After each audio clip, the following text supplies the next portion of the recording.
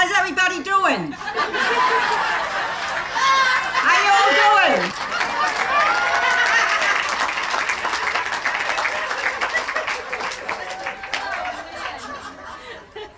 Isn't she cool?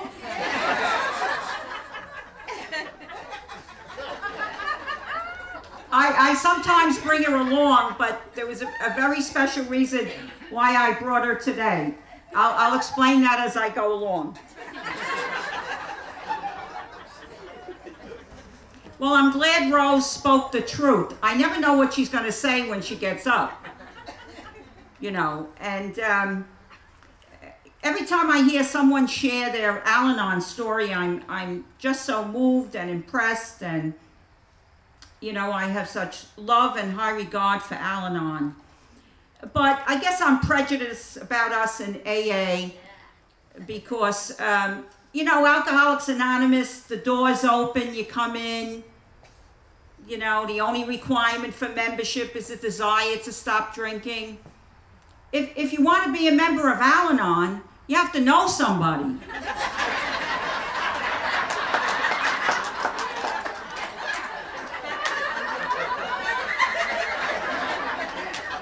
Now, if you didn't get that, you could talk to your sponsor.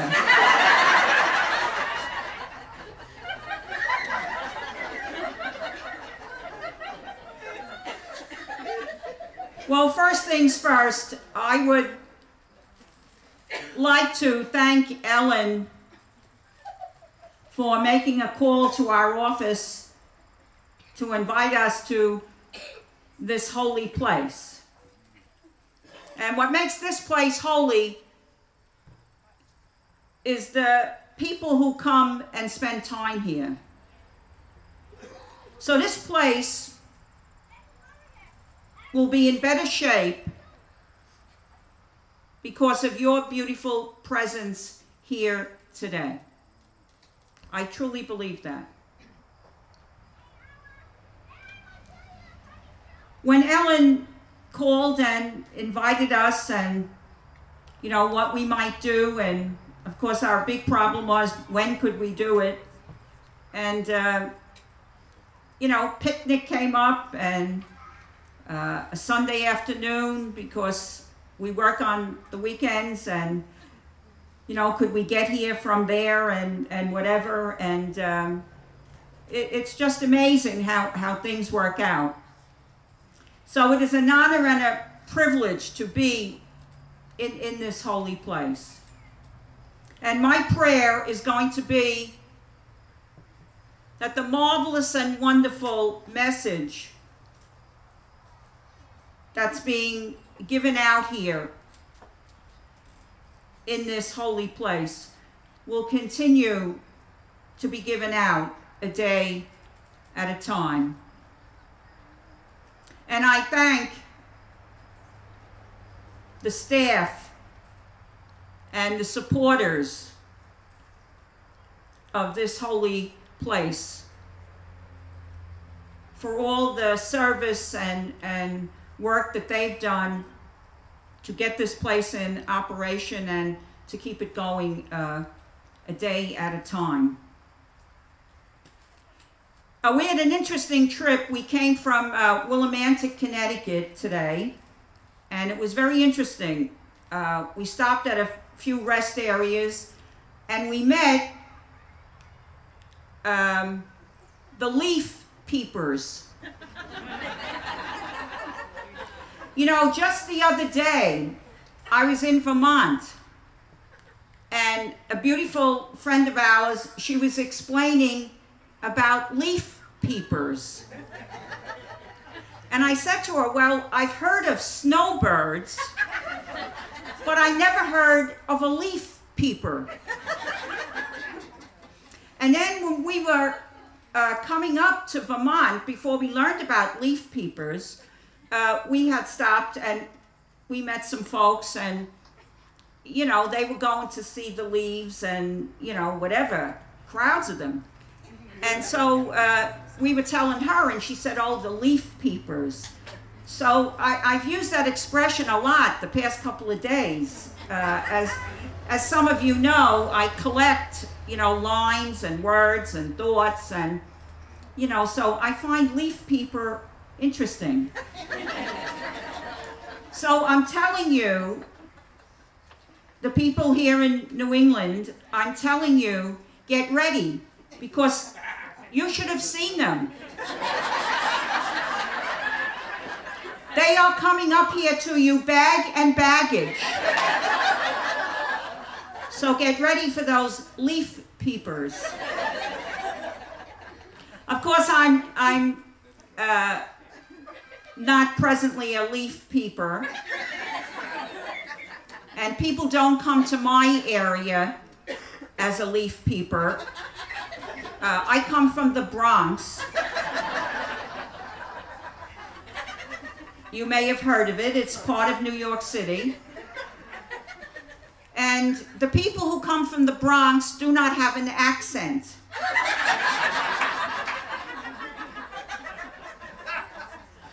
And the other thing about the Bronx is that there are only two places in the world that have the in front of them. One is the Bronx and the other is the Vatican. And I'm associated with both of those places.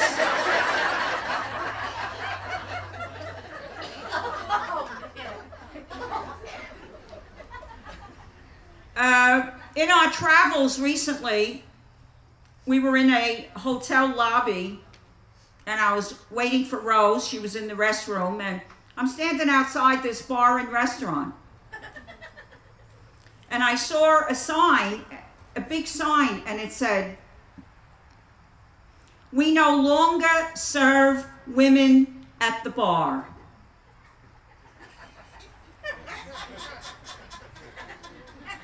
And that was followed with, You have to bring your own.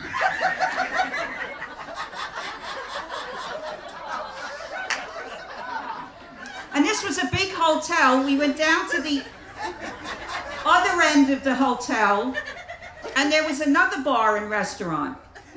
And the sign out there said, if you're drinking to forget, please pay in advance.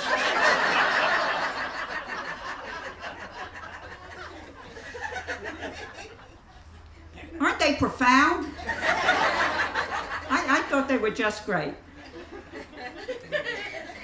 I would like to thank each of you for coming to be with me on this, the most important day of my life. It's not my birthday, it's not the anniversary of anything in particular. It's just simply the only day I have. And when people come to be with you at such a significant time in your life, you try to remember them. At least I do. And I'll try to remember you because you're here with me on this, the most important day of my life. However, today happens to be, and that's why I brought my, my little nun doll. Today, the 22nd of September, is the feast. I'm sure many of you know this. It's the feast of St. Maurice. So this was my feast day. So uh, in my home and in my community, they're having big celebrations for me. And here I am with you. but I'm celebrating. So today's the feast day of, of St. Maurice uh, and companions. Uh, I wasn't Maurice as a little kid growing up. Sometimes people say, was your name like Maurice as a little kid? I say, no. But when I was entering the convent, in those days you had to take a saint's name. So I said to my father, I have to get a saint's name. He said, well, see if they give you mine. so I submitted my father's name. He was Maurice. And uh, that's my uh, name that I have as a sister. I could go back to my original name, but that's another long story. I won't tell it to you this trip. if you don't remember anything I share this evening, please remember this because this is how I want to be remembered. It's the most important thing about me at any point on the clock. I'm an alcoholic, which means one brandy, two brandies, three brandies, floor. I'm also a woman. I'm a member of a religious community. I'm an RN, a real nun. I'm a member of Alcoholics Anonymous in good standing, in particular the Forest Hills group in Queens, New York. That's my home group. And the last thing I always tell you about myself is my name. Incidentally, my name is Sister Maurice. One of the things that I'm partial to in our, in our fellowship is that it's a fellowship of equals. There are no titles in Alcoholics Anonymous. No one really cares what you do for a living. I love that expression, fellowship of equals. I don't think there's another outfit in society that can claim fellowship of equals like we can. At least we'd match any other group that's out there. So there are no titles.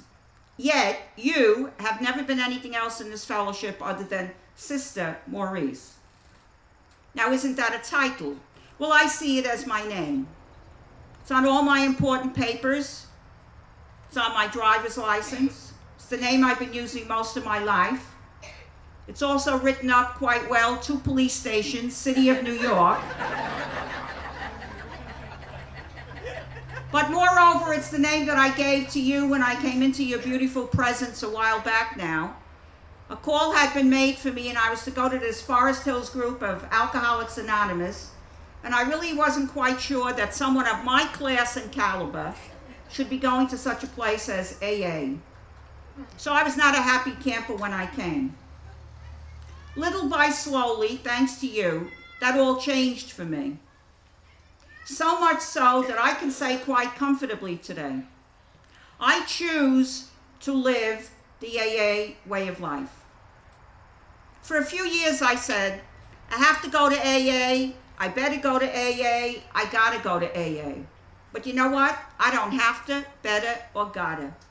I choose to live the AA way of life. And when I talk about something being a way of life, it's not an incidental experience. It's not something I do when the Spirit moves me. A way of life to me is as much a part of me as my right hand and my left hand. And that's the way I see Alcoholics Anonymous today. But for starters, I went to this first meeting. I went up the stairs, down the stairs, into a little room. There was just one man in the room. He took a look at me, came running across the room, grabbed my hand, told me who he was, and he said, What's your name? I said, Me? He said, Yeah, what's your name? Oh, I said, I'm Sister Maurice. Now, this man didn't say to me, Your mother doesn't call you that, does she? and he didn't say to me, Well, we'll have a group conscience meeting and I'll get back to you. the very next thing the man said was, Hi, Sister Maurice.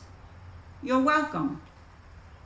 And in my over 31 years with you, a day at a time, no one has even suggested that I call myself anything else.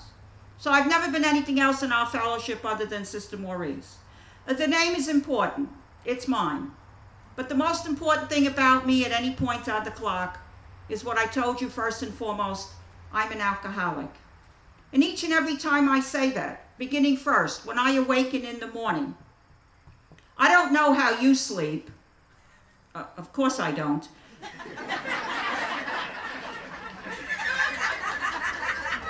but I sleep primarily on my right side.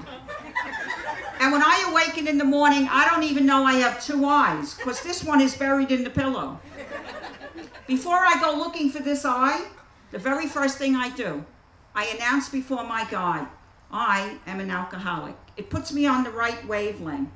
It sets the tone for me here. And any time thereafter that I say I'm an alcoholic, I am reminded that of all the things I do each day that God gives me, my most important job, work, task, assignment is that I stay sober. And I do that best through the principles and traditions of Alcoholics Anonymous as they have been written. When I came a while back, you gave me a book. And you called it big. I thought it was an interesting way you described the book. The gal who gave it to me, she was much shorter than I was, and she held this book in two hands, and she said to me, here is a big book. No coincidence, there were some fellows putting some shiny signs on the wall, and my eye hit upon the one that said, keep it simple. And as sick and all as I was, I was able to make a connection. And I said to myself, wouldn't dare say it to the lady, but I said to myself, boy, do these people practice what they preach? Because you can't get much simpler than that. Here is a big book.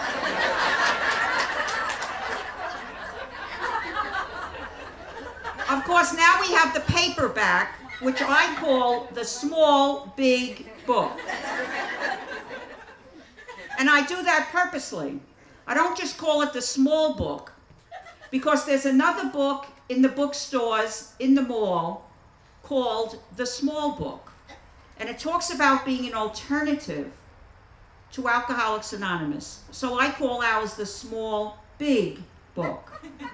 Well, you know, you introduce anything new in AA or Al Anon, and they send for you. this fella came to me one night. He had a small, big book. He's pacing up and down, and he's saying, hey, sister, you call this the small, big book. I said, I do. He said, that's a contradiction. I said, what do you mean, contradiction? He said, small, big, small, big. I thought for a moment and I said, well, we have had jumbo shrimp for years.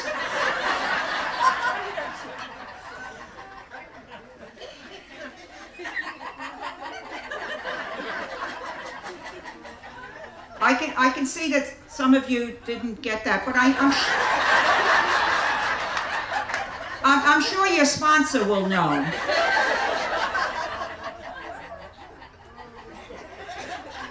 Well, I took the book from you, the one that you called big, and this is what you said to me. You told me I should read the big book of Alcoholics Anonymous. I should study the big book. I should believe what I found there. I should share what I believe, and I should practice what I share. And then you said we suggest that you do that along with the people who know how to do it best and you called that outfit the fellowship. And then you put that whole thing together and you said to me, that is a design for living that really works. Oh, what did I know about anything? I said, let me see what I can do. and that design for living has worked so well for this lady here that I don't spend a fleeting moment of my precious time looking around for alternative ways to go. I need all the help I can get, believe you me. But it is always as a secondary measure to Alcoholics Anonymous. Alcohol became a way of life for me in a very short period of time. It dictated my moods, it made my decisions, it said you will, and it said you won't. I found it very hard to eventually surrender to the fact that whenever the first drink See, I thought maybe it was the 21st. But whenever the first drink of alcohol went into this body, mind, and spirit, two things happened. One, I didn't know how many more I was going to have. And two, I didn't know what my behavior was going to be like. However, in those days, if you met me along the way and you said, Sister, could I ask you a question? Sure, ask me anything. Who or what is the center of your life? I would have been insulted by the question. You just called me sister. You see how I'm dressed, every piece from stem to stern. You just saw me come out of that building called convent. And you're asking me who's the center of my life. How come you don't know that the center of my life is God? So whenever the first drink of alcohol went into this body, mind, and spirit, two things happened. I didn't know how many more I was going to have or what my behavior was going to be like. However, in those days, if you said to me, sister, how many did you have or will you have, I would have said two, because that's what a lady should have. And if you said to me, what was your behavior like or what will it be like? I would have said steady as you go because that's how I saw myself. I was a first grade teacher at the time, and I had the reputation in those days of being the best teacher in the school. When the children came to first grade after Labor Day each year, by the end of September, my kids were ready for college. So at 10 o'clock in the morning, I'd be working very hard with these kids, and something would start in my body, mind, and spirit. And it would be screaming in there, You need a drink. And the very next thing I would do, morning after morning, would be to put up against the screaming what people told me I had so much of, and that was willpower. And the willpower approach was futile. And I went on to learn, and I'm glad I did, that it wasn't that I was a weak willed individual, but rather I was a diseased person. I was a sick, untreated alcoholic. And when you're in that condition, it goes beyond the strength of your will to do other than to satisfy what's going on in there. So I'd move to the next phase of my game plan and I'd say, well, these kids can go out to the bathroom, then they can have their snack. I'll get the teacher next door to keep an eye on them because I'm a responsible teacher. And then I'll go over to the convent, get a drink, and be back when this is all over. And I'd be running across the yard to the convent morning after morning, and this would be my thinking. This is going to be my last drink, at least until I've done my day's work. Uh, I was too sick to recall in those days that at 5 a.m., when the big bell went off to get us into our day, my story goes back to old God's time before we went mad.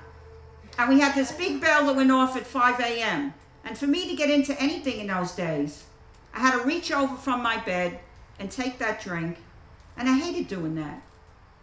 And each and every time I took it, I would say, This is going to be my last drink, at least until I've done my day's work. I might say, too, because maybe someone needs to hear it. It was not one of my goals in life to become an alcoholic. I do not recall getting up a dark and gloomy day, a bright and sunny day, and saying, Today's the day. Alki, by six tonight, watch me. I'll destroy me and see how many I can take with me. I do not see alcoholism as self inflicted. I believe it is a sickness that comes to a person.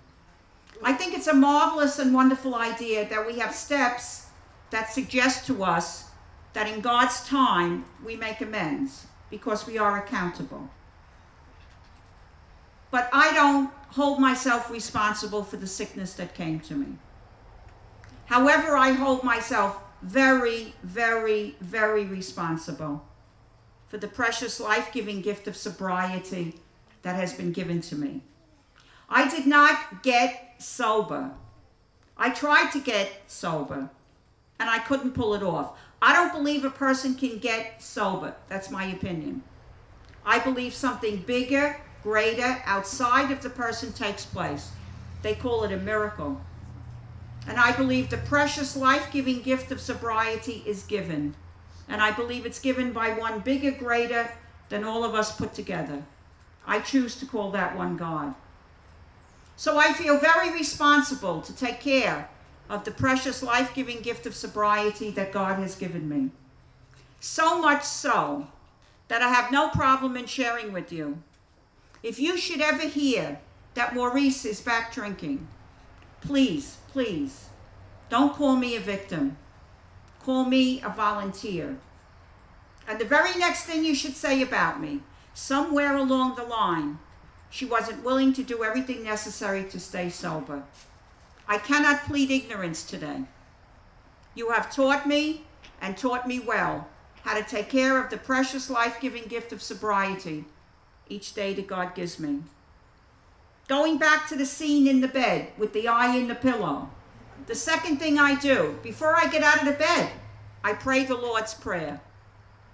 And when I reach the part of the prayer that says, Give us this day our daily bread, I emphasize the word daily because I want to remind myself that I will have sufficient bread for today. He will not refuse anyone who asks for the bread, but he only gives it to us a day at a time. I do not have tomorrow's bread. There are advantages to years of sobriety. I've had them. But as the years of sobriety increase, so do the perils of smugness. Complacency is a killer. You know the little sheep that strays from the flock. Maybe you know some little sheep. You know the little sheep who says, Oh, don't worry about me. I know you haven't seen me at meetings, but God is good. Sobriety is wonderful. I'm in a new relationship. I'm working very hard in my field, but don't be worrying about me. The little sheep that strays from the flock is usually the one that's found in the ditch, over the embankment, and hanging from the barbed wire fence. A favorite fruit of mine is a banana. And every time I eat a banana, I have a meditation. And the meditation is the banana that leaves the bunch is the one that gets skinned. I have a drunk a lot that tells you quite well. All by myself, I can stay very sick and quite drunk. But I truly believe I cannot stay sober and fairly well without you. I was affected physically, mentally, spiritually, socially, emotionally. Physically, I fared out pretty well. There were times I tried to arrange my own physical death.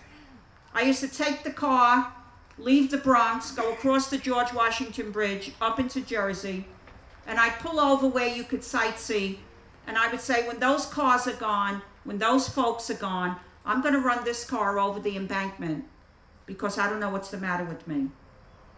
And then I'd have what I call today a moment of amazing grace.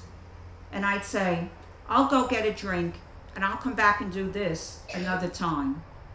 Sorry, it's not to die physically, but there are other ways of dying I'm sure you can identify.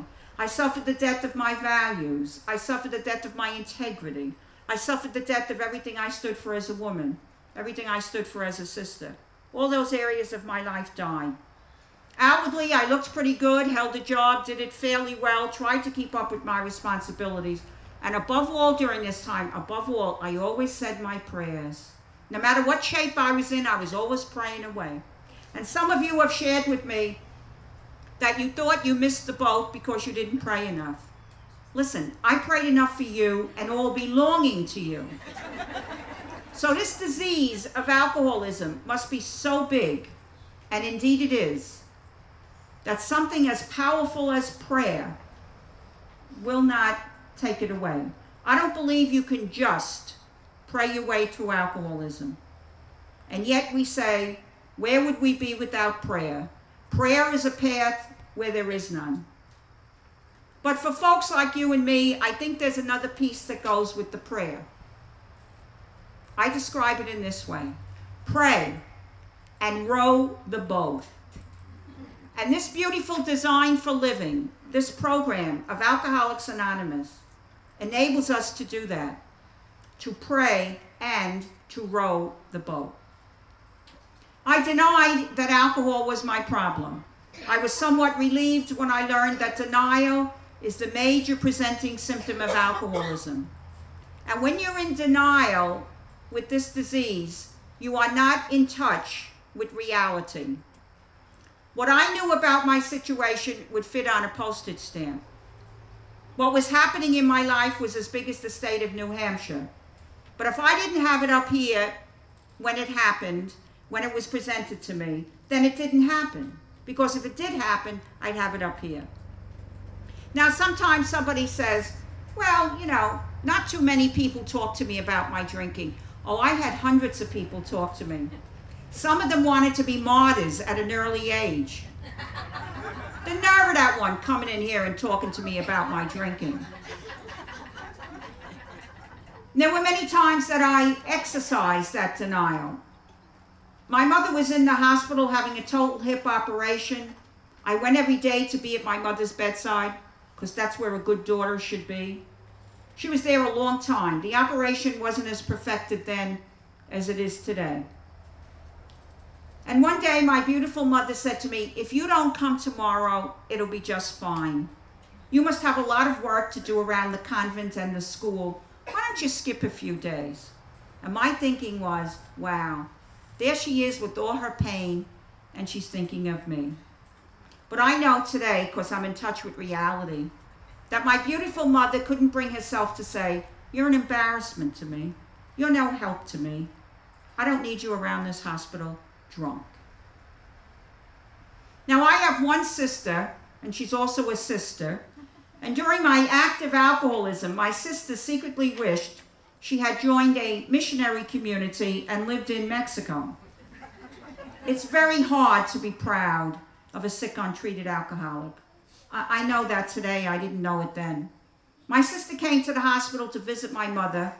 She gave me one of those come outside the door kind of winks. I dutifully went outside. My sister is very tall. She towers over me. She put her finger like this. She's very soft spoken, like my mother. And she put her finger like this and she said, Why? Why would you come to this hospital at four o'clock in the afternoon drinking? Well, I was just about to give a lecture when it dawned on me we've been down this road a hundred times before. To the best of my recollection, not a word did I speak. But being a typical alcoholic, and that's all that I am, couldn't let well enough alone. So I took my right hand, which was the more powerful of my two, and I belted her. Shortly thereafter, two nurses came running down the hall and they are yelling, Sisters, sisters. Uh, they were not calling us sisters because we were the duty girls. But we were dressed like sisters used to dress. Some still dress today. My veil was on the floor. Hers was someplace else. Now, this is the famous hospital for special surgery in New York City. People come from all over the world to this hospital. And I learned a couple of years later that one of the major rules of this hospital is that no patient leaves their room unescorted. They were coming out crutches, wheelchairs, all fours. Of course, the word got around quickly. There were two nuns out there killing one another. Now, in the midst of this chaos, I have a couple of thoughts. Interesting enough, maybe you'll identify. I did not have the thought, maybe I shouldn't have belted her.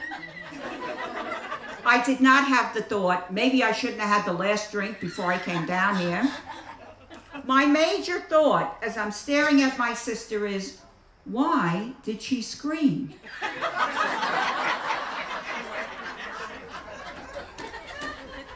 You know, I look back today with a sober, clear head.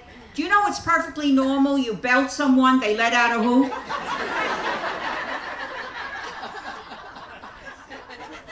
My other concern, my purse had fallen onto the floor, making a rather loud sound as it fell to the floor. I was a little distracted with the purse. I wasn't too concerned about the few dollars in the purse. I have a vow of poverty. I kept it quite well during this time. But I was very concerned about the pint of holy water in the purse. One pint of Christian Brothers brandy. And what is the thinking of a sick, untreated alcoholic? No one leaves here with that purse other than you know who. Now, there's only one word to describe someone who'd be in that position. And I had to go through a lot of other descriptions.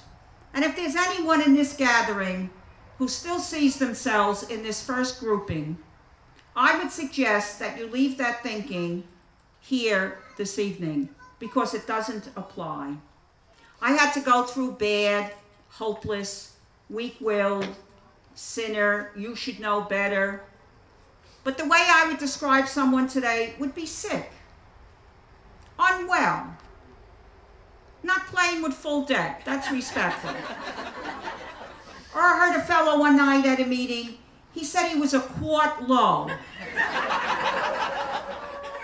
I heard another fellow another night, he said he had a photogenic mind, he just never had any film in the camera. well, I had to go a ways and have lots of help from you before I could see myself as sick and unwell.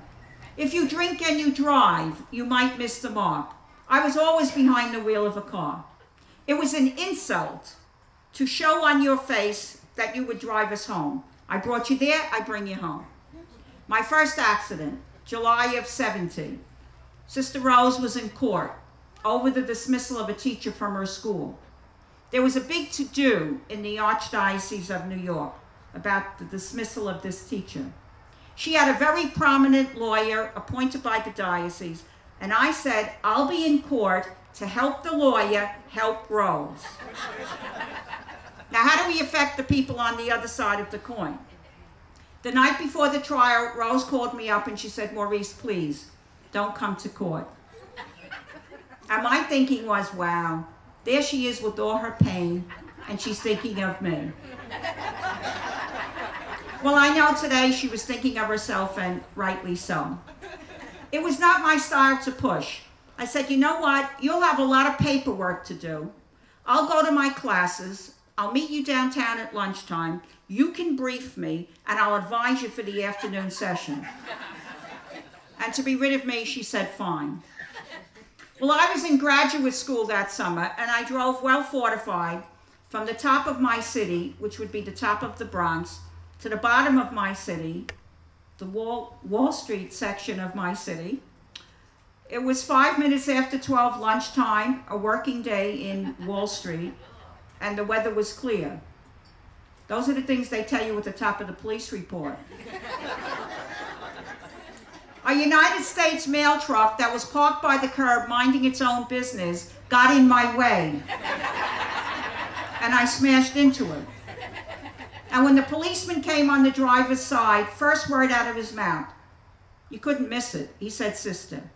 Now, I was a little taken back by the next part. He didn't say, sister, are you hurt? Could I call someone? Do you think women will ever be ordained? He said, Sister, could you have been drinking? And for a fleeting moment, I wondered how this guy got on the police force. As was my style, Officer, can I help you? So I proceeded to tell the officer about my friend who was in court being persecuted, how upset I was, etc., etc. Well, I went into a blackout, eventually a pass out. I woke up in a convent a short distance away. I woke up in a strange bed, half my clothes on, half my clothes off. I'm looking around saying, where am I? How did I get here? What happened? It was not my custom then, certainly not my custom today, to wake up in strange beds.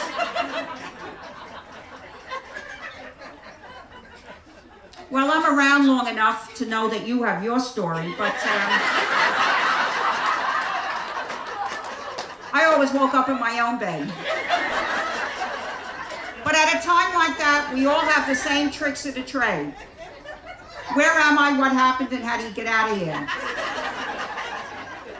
I put that game plan into operation. I could hear some talking through a partially open door. So I tiptoed over. I was glad the door was open a little bit so I didn't have to squeak it. Because as many of you know, our style, you know, we don't go over and throw the door open and say, what happened? See, you go over quietly and you put an eye and an ear out and you try to pick up a little something because you know from previous experiences they will be questioning you and you know from nothing. Oh, nothing stupid about an alkie. So I peek out and I could see Rose and I knew as long as Rose was there, everything was going to be in great shape. Now the other sister, she was about seven feet tall and she was like a lunatic. She was yelling and screaming at Rose. And I got to the door as the big tall lady was screaming at Rose, your friend is on pills or she's drinking. And in order to help her, you are going to have to hurt her. I thought that was poor advice. So I took my ear and my eye in, and I went back to bed to get a little rest to handle Rose, who came in and asked the going question in our lives at that time. What happened? I told it as I saw it. I lost control of the car because I was so upset about the court case. Well, in those days, the car was in my mother's name. My mother didn't know anything about the accident. I had the car fixed, back out on the road. Three weeks had passed. Every time you talk to Rose, she had this question When are we going to tell your mother about the accident? Never. Why do you want to tell my mother? Well, the car's in her name. So what? The car's fixed. Then the fears that set in for a sick, untreated alcoholic. What if Rose tells your mother? so I called Rose up, invited her out for supper, my treat, took her to a little restaurant, leaned across the table in the restaurant, and said, If you dare to tell my mother about the accident, someday you will come out of your convent. I'll be sitting in a car, and when you cross the street, that will be it.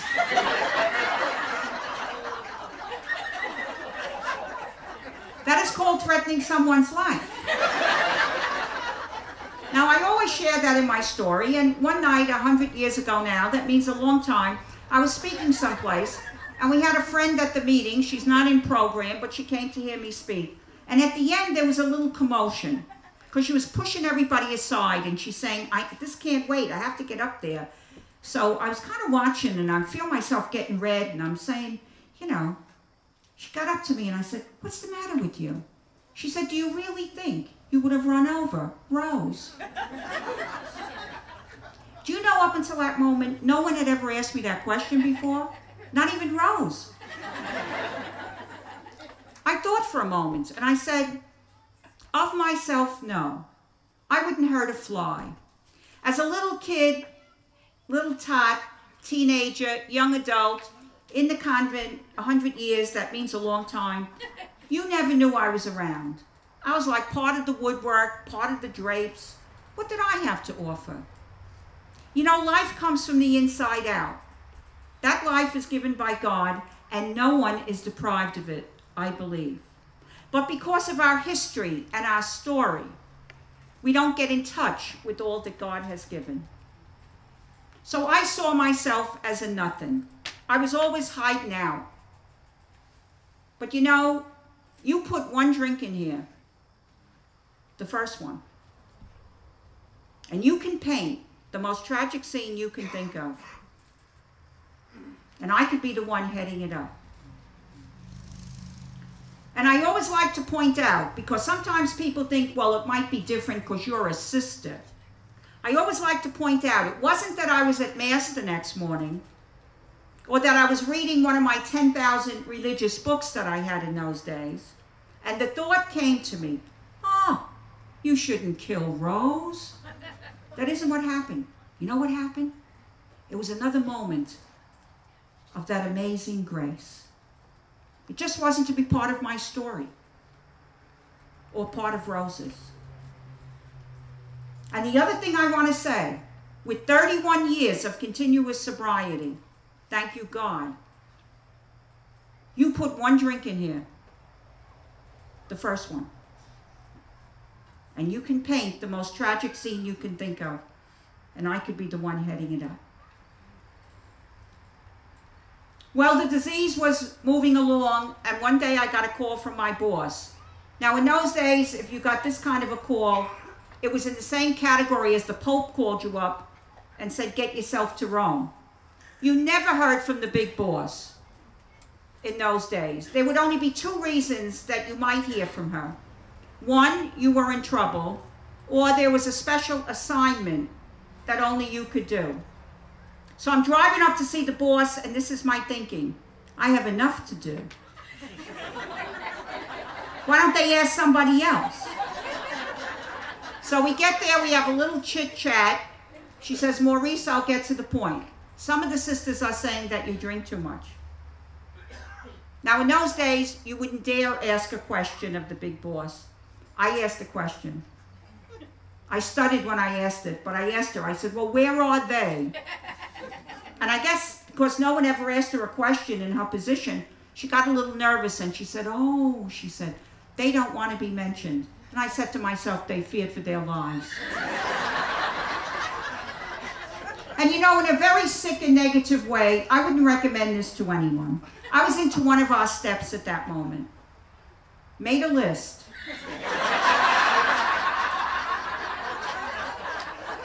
of all people who had harmed me and asked God to be rid of them.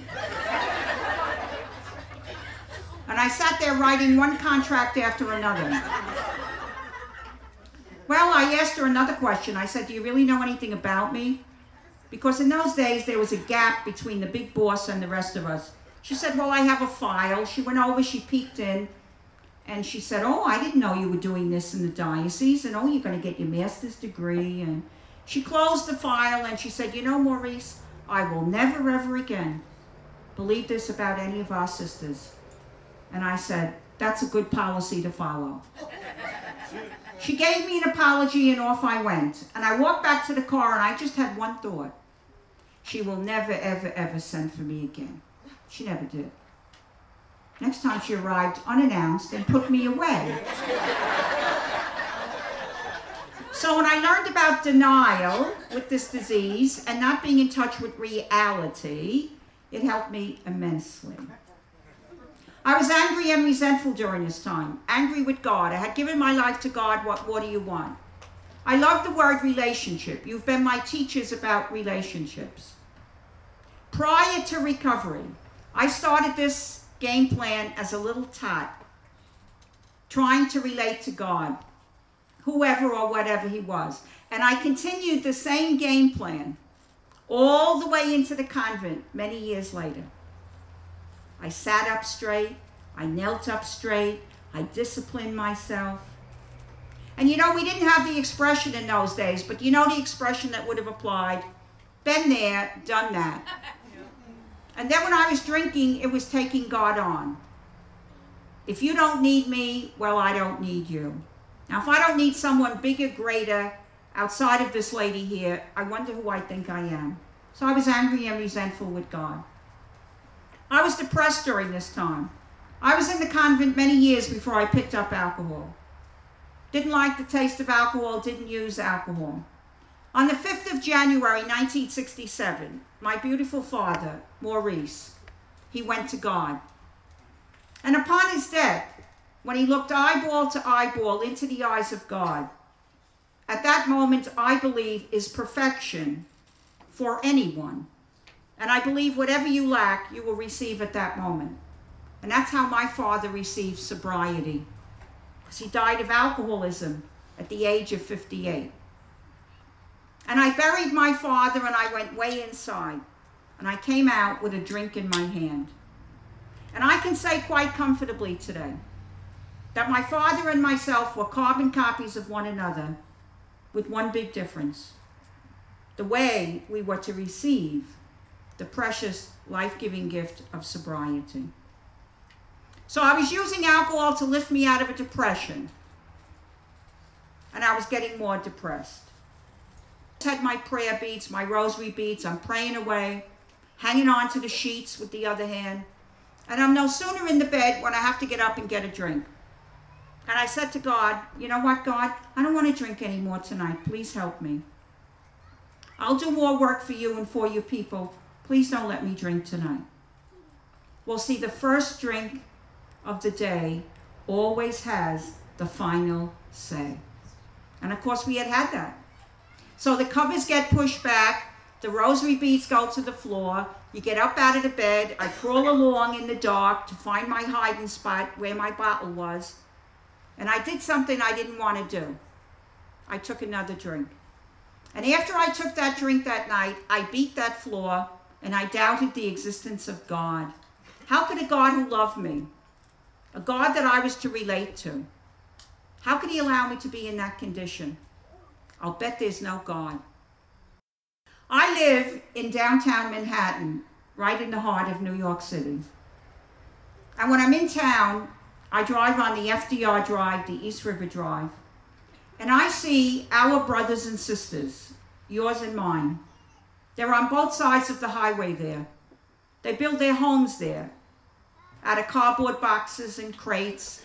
And you see them frying an egg. And they need a jacket, pair of shoes, both male and female, our brothers and sisters. And you know, they have little brown bags. I only had one kind of brown bag. They have my kind and other kinds.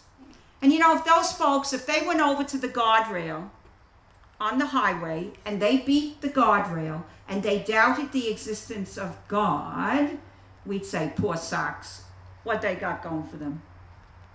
I'm in a beautiful convent. I want for nothing, and alcohol brought me to the point where I doubted the existence of God. As we say in here, whether you come from Yale or jail, Park Avenue, Park Bench, what does it matter where you came from? I think it's very important to get to know your history, your story.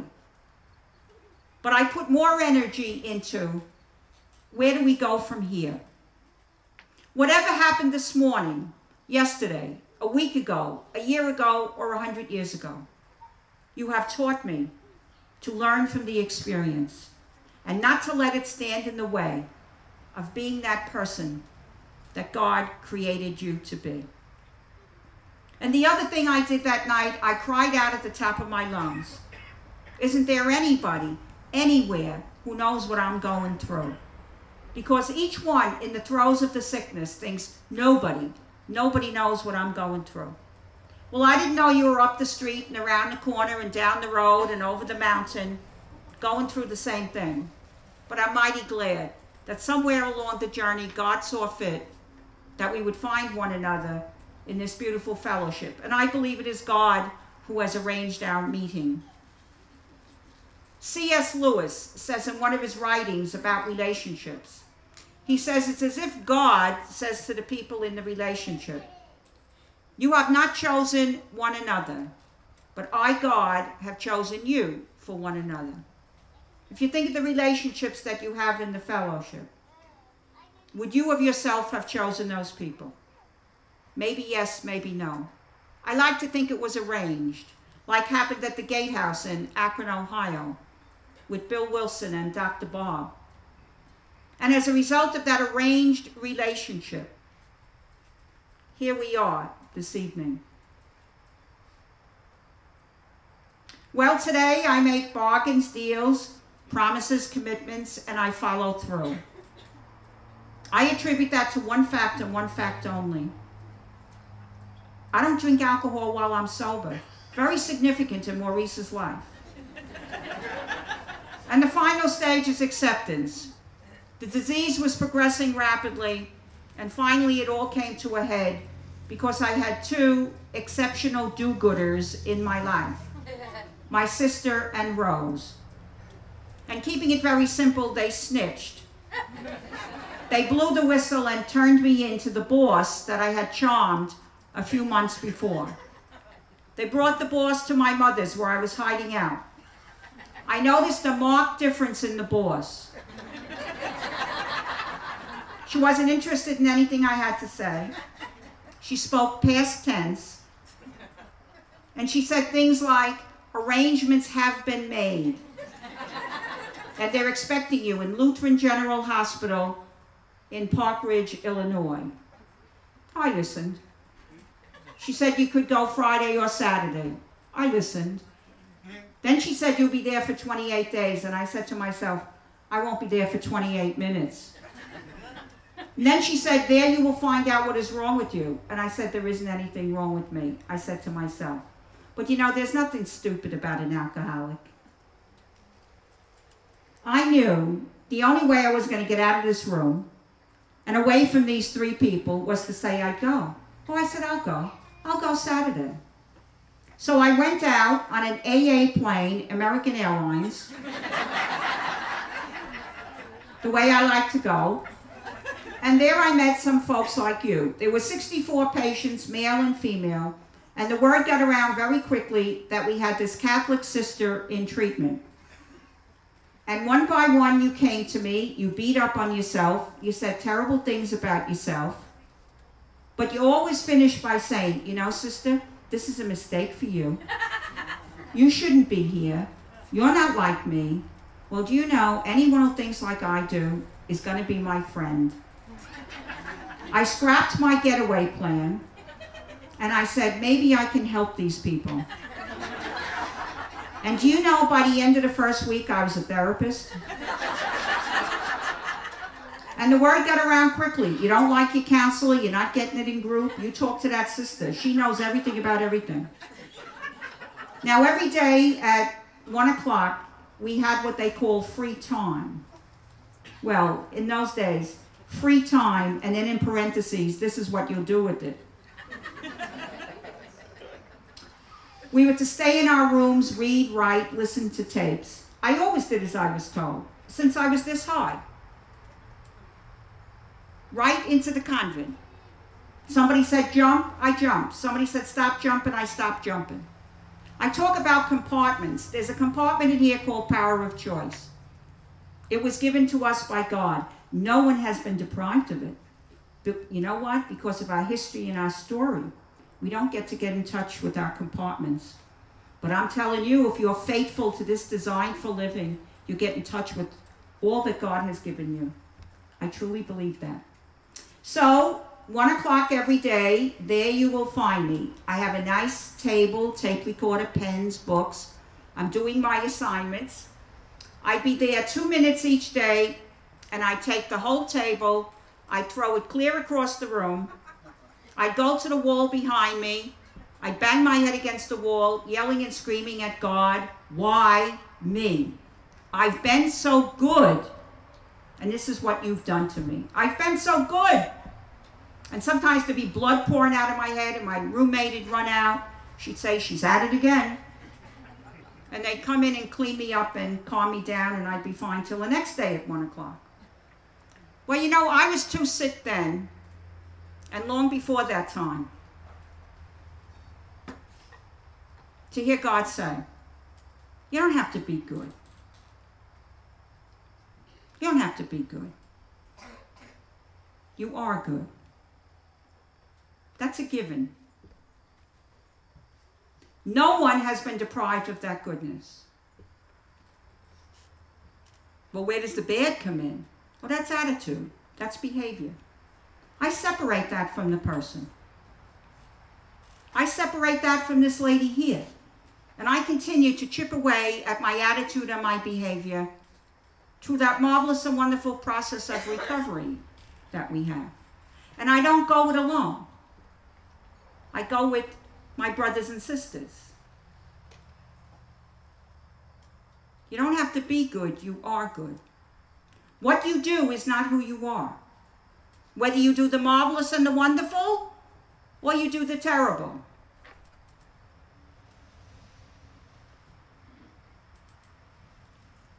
I cannot help but be impressed at the goodness and holiness that sits and stands on these holy grounds here. Well, some 31 years later, and for quite a while now, I have a why me question of God.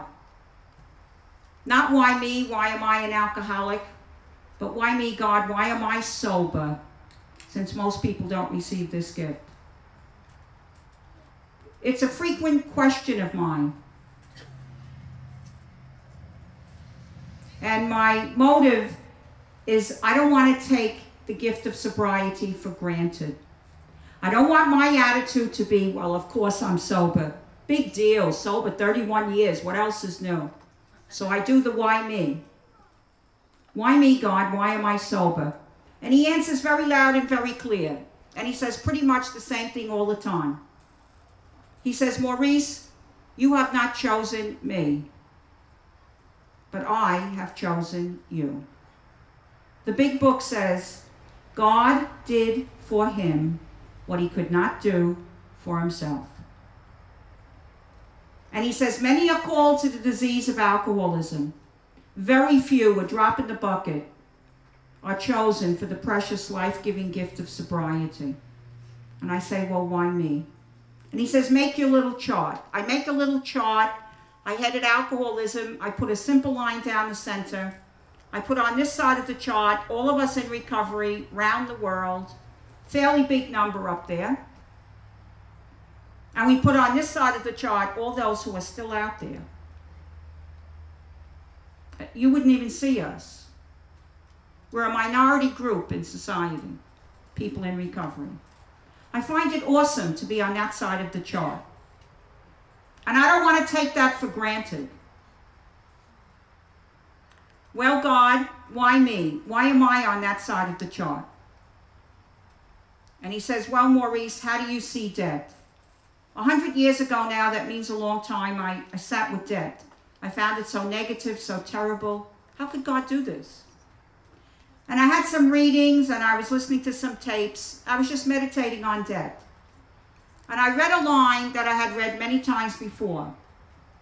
But this time I experienced a moment of amazing grace.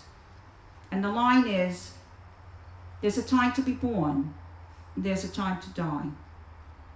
And I believe that's on God's calendar. And I believe any person goes to God in death when their work here on earth is finished. I can't believe God stands or sits any place and says, Well, I'm going to take this one and I'm not taking that one, and this one doesn't deserve to be. God doesn't operate that way. God wants top shelf, the very best for each one of us. But your work is finished. I may have more work for that person to do, but on God's calendar, their work is finished. And the other thing that helps me is I'll see those people again when my work is finished.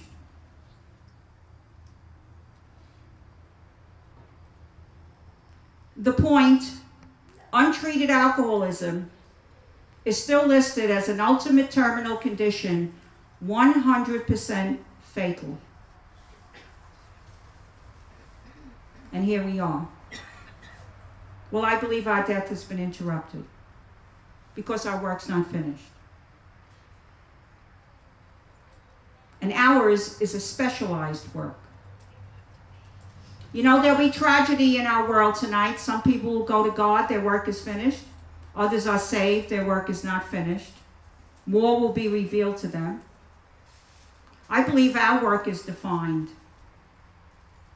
It's to carry a message, it's to walk with, it's to pass it on, it's to be that fellowship. With all due respect to the church, the medical profession, other forms of help, they do a lot for us. But there's just something about one alcoholic sharing with another alcoholic. One member of Al Anon sharing with another member of Al Anon.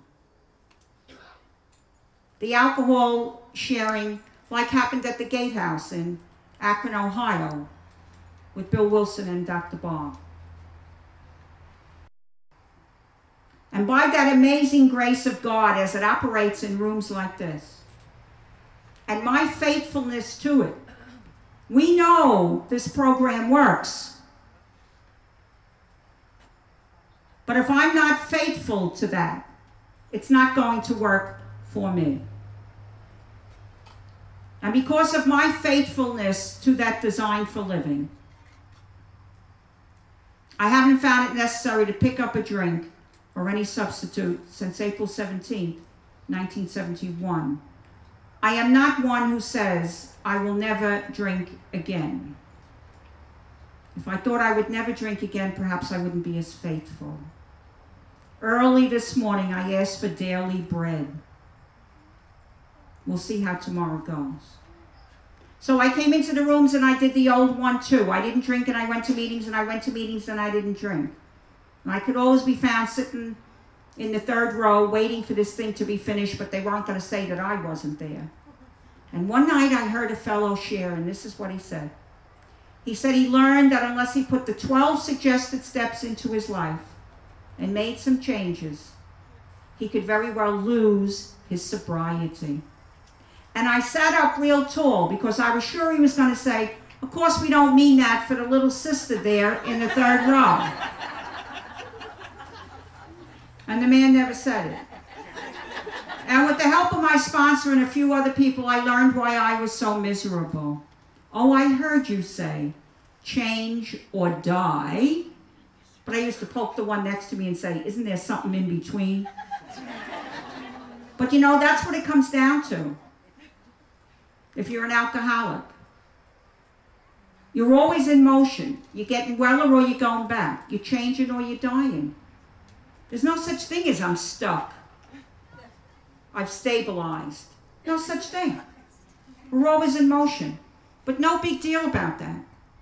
Because we have a marvelous and wonderful process to follow, beautiful men and women to walk with us as we do it. And all I have to do is I'll try.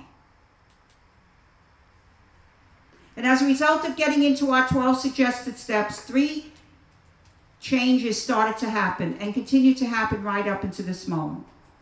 The first had to do with the intellect. See, when I came to you, my thinking went like this ready, fire, aim. I had postage stamp thinking. It was my way or no way. Now, we talked about that. And you said, you know, put those 12 suggested steps into your life. It'll do wonders for your head. Now, I've had what I call an intellectual conversion up here. The picture is so bright and broad. I got off that postage stamp thinking. So I had an intellectual conversion, and it continues on a day to day basis. Then the moral conversion. My value system went out the window. And we talked about that. And you said, listen, follow the program. Don't go it alone. And you'll be able to put first things first and second things second. And when you're wrong, you'll be able to promptly admit it. You'll be able to practice the principles in all your affairs. You'll be able to practice the principles and you won't have affairs. so I've had a moral conversion. I have my value system back to them. And then the spiritual. That was the third one, which came to me for me in two ways.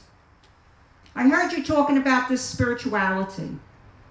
And I would say to myself, well, I'm glad you have a little something like spirituality, but see, I have my religion. Do you know for much of the first year, when I went to meetings, I had to go in the door sideways. I could not walk in like this because I had these flags in my ears. And the flags were waving. Catholic, Catholic, very, very Catholic. So I had to go in sideways. And, and we talked about that, and you said, you know, our program teaches us balance. And you helped me to get a center with my religion. I still have the same religion that I was brought up with. And you gave me a marvelous and wonderful technique to use. I take what helps me and I leave the rest. And then the spiritual. I said, Well, give me a definition. And you said, Well, it has to do with relationships. Oh, that was interesting. Relating to God. Oh, I wanted to get that squared away. Relating to other people. I said, Oh, terrific. And then you said it also includes relating to self. And I said, I'll never have spirituality because there's nothing here to relate to. And you said to me, We'll help you get in touch. And thanks to you, I know today the full meaning of love your neighbor as yourself, not instead of yourself. I know the full meaning of this above all, to thine own self be true. And I believe the key to a life giving, healthy, meaningful spirituality, which I talk a lot about, the key is relating to self. And no big deal about it. We have a marvelous and wonderful process of recovery that helps us to keep three things in place a relationship with the higher power, a relationship with other folks, and a relationship with yourself.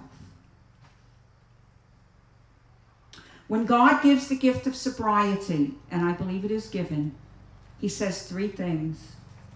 One, I'm interrupting your death because your work's not finished. Carry a message, walk with, pass it on. Be that fellowship. He says, second, you will share relationship with these people. They will come into your life and you will come into theirs. And third, he says, with this gift of sobriety, I give you your dignity. Walk tall. Through no virtue of ours, we have somehow been chosen, snatched back from a grave, from degradation, and clothed again in the robes of human dignity. May we never underrate or take for granted that gift of sobriety that is ours. And so, my prayer for you is that you'll continue to have your sobriety, your recovery if you're in another program, your process for yourself. And as a result of that, I just know, I just know you'll have your dignity. And I close, the miracle still takes place. She does close. I close with the short version of Maurice's story. I'm sure you can identify with it. Amazing grace, how sweet the sound that saved a wretch like me. I once was lost, but now I'm found, was blind, but now I see. And may God, however you understand that God, may God bless you, and God bless me, and God keep you, and God keep me because nobody does it quite as well. Thank you so very much.